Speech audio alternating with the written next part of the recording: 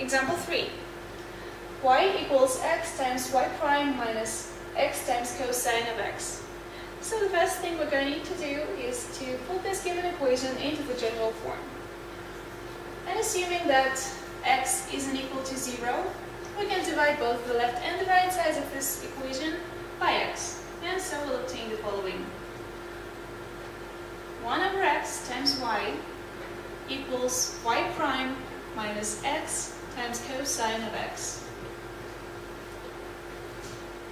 y prime minus 1 over x times y equals x times cosine of x.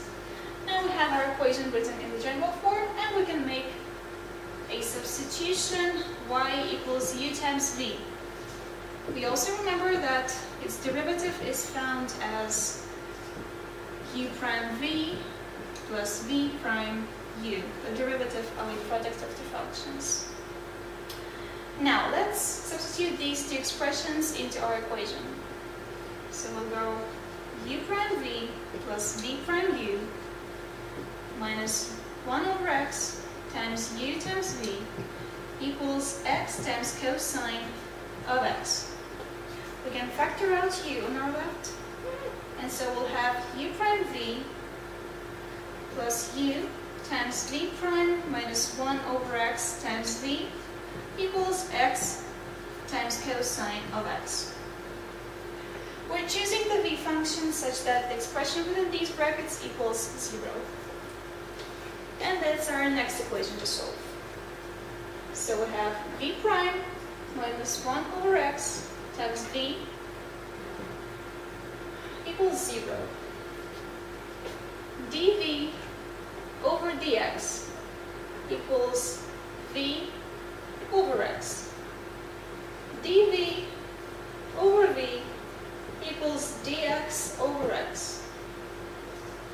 ln v equals ln of x plus the constant, or we can write the logarithm of a constant. Ln v equals ln of x times the constant, and then finally v equals x times the constant.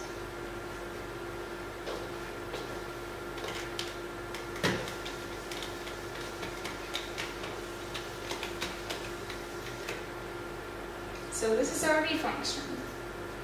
x multiplied by the constant, c sub 1.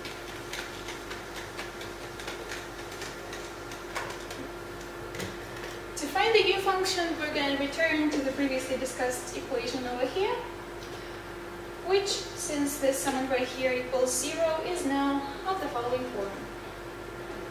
u prime v equals x times cosine of x.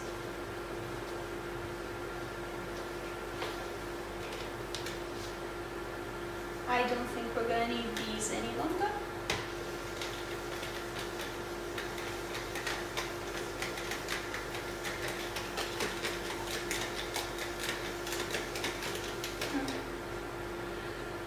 So I'll just move our equation over here.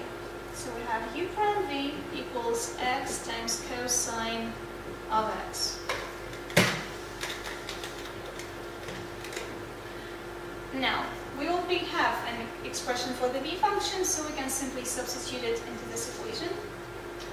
And therefore we'll go u prime equals 1 over v times x times cosine of x. u prime equals 1 over x times the constant c sub 1 times x times cosine of x. u prime equals 1 over c sub 1 times cosine of x. And then we'll integrate this expression in order to obtain an expression for the u function. So u equals the integral of 1 over c sub 1 times cosine of x dx, which is equal to 1 over c sub 1 times sine of x plus another constant, c sub 2. So our u function is equal to 1 over c sub 1 times sine of x plus another constant, c sub 2. And the only thing left for us to do is simply to multiply these u and v functions in order to return to the y function. So y equals u times v, or should I write this a little bit lower? y equals u times v, which is equal to 1 over c sub 1 times sine of x plus c sub 2 times x times c sub 1. And we can multiply the expression within these brackets by c sub 1 and have sine of x plus c sub 1 times c sub 2 times x now we can denote this constant over here as c.